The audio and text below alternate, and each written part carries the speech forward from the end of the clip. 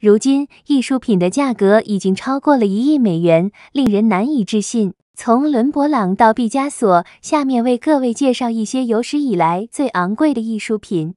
Neffy of IPO，你什么时候结婚？保罗高更。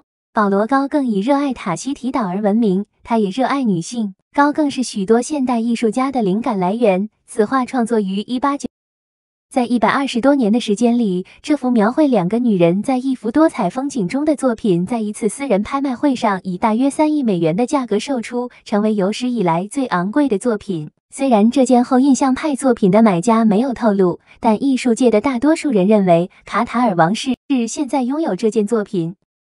牌玩家。保罗·塞尚，保罗·塞尚在其职业生涯中画了五个版本的纸牌玩家，其中大多数都在世界著名的博物馆收藏中，包括奥赛博物馆和考陶德艺术学院。二零一二年，全世界都了解到，二零一一年有一幅画作以超过二点五亿美元的惊人价格售出，这是当时最昂贵的画作。这幅画由卡塔尔王室购买。马丁·苏尔曼肖像和奥普金·科比特肖像，伦勃朗。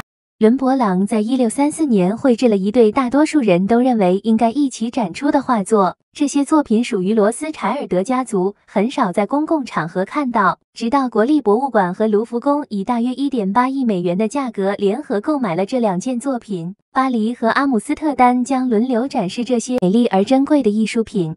巴勃罗·毕加索的作品确实很受欢迎，因此他不止一次出现在这个名单上，也就不足为奇了。画于1932年，赴玛丽瑟斯沃尔特。前老板、赌场大亨史蒂夫·维恩于二零零六年同意以一点三九亿美元的价格将其出售给史蒂文·克恩。然而，在交易可能发生之前，永利意外损坏了这幅画。这幅画最终被修复了。科恩仍然感兴趣。二零一三年，最终以一点五五亿美售出。New Modigliani 是有史以来世界最昂贵艺术品排行榜上最新的一位。这幅作品由阿梅迪奥·莫迪利亚尼于一九一七年至一九一八年绘制，是莫迪利亚尼最受认可的作品之一。画中一名裸体女子躺在红色背景上。二零一五年以一点七零四亿美元的价格售出，超过了一亿美元的预估价格，还以六千八百九十万美元的价格打破了这位艺术家此前最畅销的作品《努阿西斯拉贝尔罗曼》。女性 III 威廉德库宁，抽象表现主义画家，于一九五三年创作了女性 III。这幅画是女人系列作品中的一幅，所有作品都是大型的。这件作品超过五英尺高，扭曲的人物，这是该系列中唯一一一一幅私人持有的作品。二零零六年，大卫·格芬以一点三七五亿美元的价格出售给亿万富翁史蒂文 ·A· 科恩。以今天的价格计算，该作品价值略高于一点六二四亿美元，是有史以来第七贵的作品。另一件售价超过一亿美元的作品是古斯塔夫·克里姆的阿黛尔·布洛赫鲍尔一世肖像画，一幅美丽的带有克里姆特的标志性黄金。事实上，她多年来一直被称为穿金衣的女人。这幅画被偷了，后被收藏在维也纳的历城博物馆里。玛利亚·奥尔特曼的家人最初拥有这幅作品，他努力争取将这幅画送回家人。二零零六年，以一点三五亿美元（今天为一点五四八亿美元）的价格将其出售给纽约新来酒店的罗纳德·劳尔。早在一九九零年，文森特·梵高就以八千两百五十万美元（约合一点四八亿至一点五二亿美元）的价格售出了加切特博士的肖像画。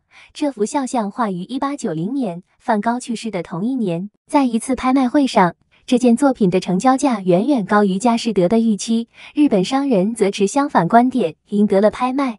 然而，齐藤已经去世，肖像下落不明。在购买加切特博士的肖像之前，齐藤隆义在苏富比拍卖会上以七千八百万美元（约合一点四亿美元）的价格购买了雷诺阿的一幅可爱作品，名为《Balloon and Logo at》，描绘工人阶级享受周日下午。和梵高的作品一样，不知道这幅画的位置。齐藤说，他死后将两件作品一起火化，但据信这两件作品都卖给了私人收藏家。二零一五年，巴勃罗·毕加索的《阿尔杰女性》在佳士得拍卖会上以一点七九三亿美元的高价售出，成为拍卖会上最昂贵的艺术品。灵感来源于德拉克洛瓦的《阿尔杰女性》，毕加索画了十五个不同的版本，最后一个版本是在一九五五年和许多作品一样，目前还不确定是谁为这项作品花费了近两亿美元，但有传言称是卡塔尔前总理哈马德·阿勒萨尼拥有。